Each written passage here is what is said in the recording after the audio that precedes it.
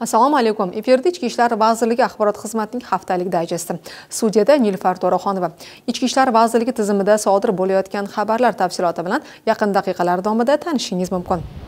Maktabgacha ta'lim muassasalarida munosib sharoit yaratish hamda maktablarda o'quvchilarni hunarga o'rgatish bo'yicha davlat rahbari tomonidan belgilangan vazifalarning ijrosini ta'minlash maqsadida ichki ishlar vaziri general leytenant po'lat bobojonov boshchiligidagi idoralararo ishchi guruh tomonidan andijon tumanida o'rganish ishlari olib borildi.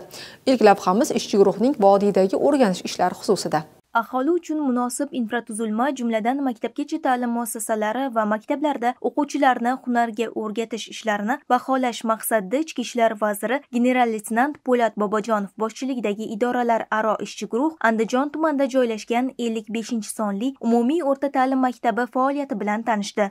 Ta'lim maskani 604 nafar o'quvchilar uchun mo'ljallangan bo'lib unda namuna sifatida yoshlarni hunarga o'rgatish vazifasi ijroga qaratilgan. Maktabda 10 va 11 sinf o'quvchilari uchun savat to'qish ko'rpacha tikish mebel ta'mirlash poyafzal tuzatish qandolatchilik tayyor mahsulot qadoqlash shirinliklar va ovqat pishirish chevarchilik hamda tikuvchilikka moslashgan o'quv sinflari faoliyat yuritmoqda. Yoshlarni muammolarini o'rganish bo'yicha maktab qoshida faoliyat olib boruvchi inspektor psixologning faoliyati tanqidiy o'rganilib yoshlarni ta'limga yo'naltirish ma'naviyatli va barkamol bo'lib ulg'ayishiga qaratilgan dasturlarning ijrosini ta'minlash yuzasidan tegishli topshiriqlar berildi. Shuningdek ichki ishlar vaziri tomonidan jinoyatchilikni mahallabay profilaktikasi borasida sadda tagi mahallasida shakllantirilgan beshlikning hamkorlik masalalariga jiddiy e'tibor qaratilib aniqlangan kamchiliklarni bartaraf etish bo'yicha tegishli topshiriqlar berildi. Aholining turmush tarzini yaxshilash borasidagi ishlarni o'rganish jarayonida sadda tagi mahallasida eksperiment tariqasida barpo etilgan sendvich paneldan iborat yengil konstruksiyali yig'ma uylar bilan mamadaliyevlar xonadoni misolida tanishildi. Tadbir davomida andijon tumanining yangi andijon massividagi qurilish hamda obodonlashtirish ishlari ko'zdan kechirildi. Massiv hududiga dastlab 1200 ta archa pavloniya hamda kashtan ko'chatlari ekilib yil davomida 3000 ga yaqin yangi ko'chatlar ekish va parvarishlash rejalashtirilgan. Ushbu massivdagi birinchi sonli umumiy o'rta ta'lim maktabida o'quvchilar uchun yaratilgan yo'l harakati xavfsizligi xonasi o'rganildi. Ma'lum bo'lishicha mazkur o'quv xonalari ayni kunda viloyat bo'yicha 64 ta maktab va 85 ta bolalar bog'chasida yaratilib zaruriy jihozlangan. O'rganish ishlari jarayonida aniqlangan kamchiliklarni bartaraf etish hamda soha rahbarlarining ish faoliyatini takomillashtirish yuzasidan aniq vazifalar belgilandi. Ishchi guruh o'z faoliyatini davom ettirmoqda. Bilamizki mamlakatimizda ulug' ajdodlarimiz xotirasini abadiylashtirish hamda ularning tavallud ayyomlarini munosib nishonlash o'ziga xos an'anaga aylangan. Bu yil ham yurtimizda o'zbek klassik adabiyotining ulkan namoyandasi. Shoh va shoir zahiriddin muhammad bobur tavalludining 540 yilligi joylarda keng nishonlandi. Xususan ichki ishlar organlari xodimlari uchun ham sana munosabati bilan ma'naviy ma'rifiy kecha tashkillashtirildi.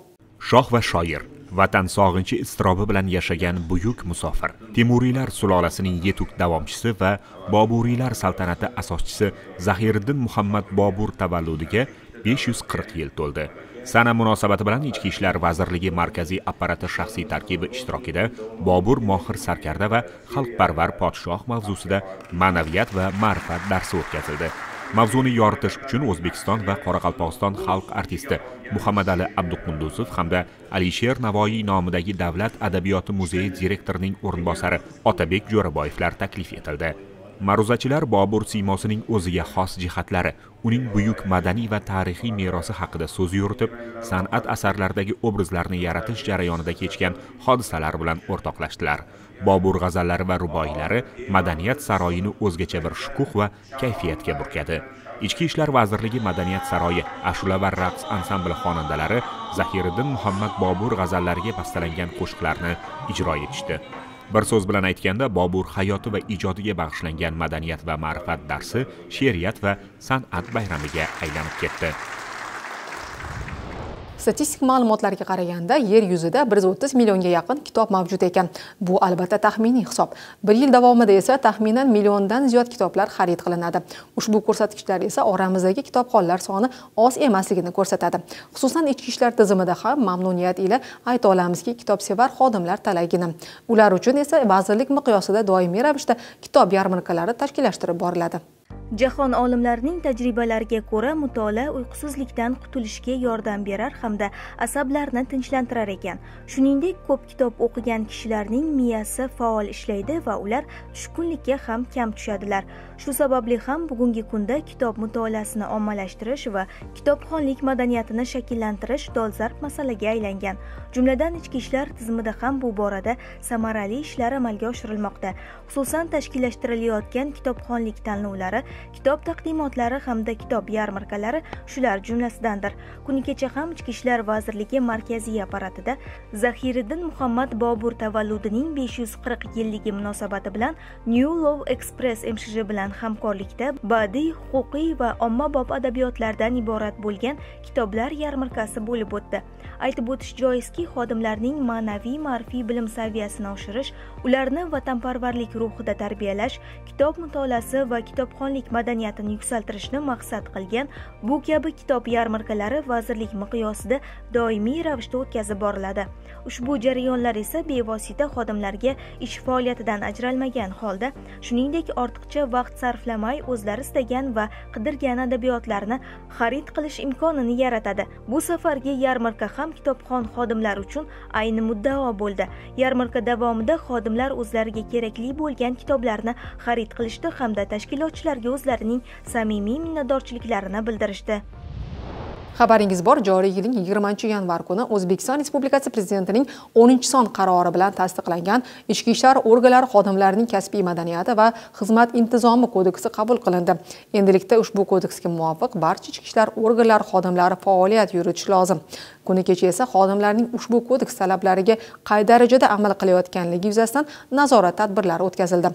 Navbatdagi lavhamiz shu haqida. Jamiyatda tartib va nazorat o'rnatuvchi tizim birinchi navbatda o'zi bu talablarga qat'iy amal qilishi darkor. O'zbekiston respublikasi prezidentining 2023 yil 20 yanvar kunidagi 10 son qarori bilan tasdiqlangan ichki ishlar organlari xodimlarining kasbiy madaniyat va xizmat intizomi kodeksida ham bu talablar belgilab berilgan. Ichki ishlar vazirligining mas'ul soha xodimlaridan iborat 6 ta yo'nalishdagi patrul tekshiruv guruhlari o'z faoliyatini boshladi va mazkur guruhlar tomonidan qoida talablariga xodimlarning qay darajada amal qilayotganligi nazoratdan o'tkazilmoqda. Dastlab guruhlarga shaxsan vazir o'rinbosari general mayor azizbek ikromov tomonidan yo'riqnoma o'tkazilib tegishli topshiriq va ko'rsatmalar berildi. Ushbu guruhlar tomonidan toshkent garnizonida xizmat olib boruvchi xodimlarning faoliyatini tekshirish aniqlangan kamchiliklarni joyida bartaraf etish hamda xizmat intizomi buzilishiga qat'iy choralar ko'rilishini ta'minlash maqsadida avtoreyd hamda patrul tekshiruvlari o'tkazilmoqda. Joriy yilning 13 fevral sanasining o'zida 7 nafar ichki ishlar organlari xodimlari yo'l harakati qoidalariga amal qilmaganliklari uchun tegishli tartibda ma'muriy bayonnoma rasmiylashtirilib jarima jazosiga tortildi. Shuningdek formali kiyim bosh kiyib yurish qoidalariga amal qilmagan 11 nafar shaxsiy gigiyena qoidalariga amal qilmagan 7 nafar xodimlar aniqlanib ularga nisbatan tegishli ta'sir choralari qo'llanildi. Bu kabi tadbirlar respublikaning barcha hududiy ichki ishlar organlarida ham o'tkazilmoqda.